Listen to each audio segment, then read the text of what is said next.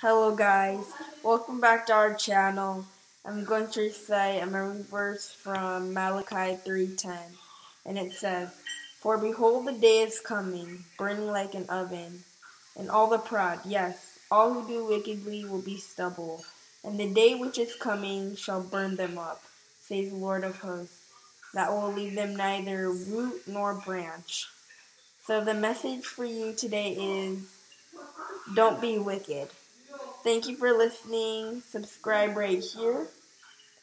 And watch more of our videos right here.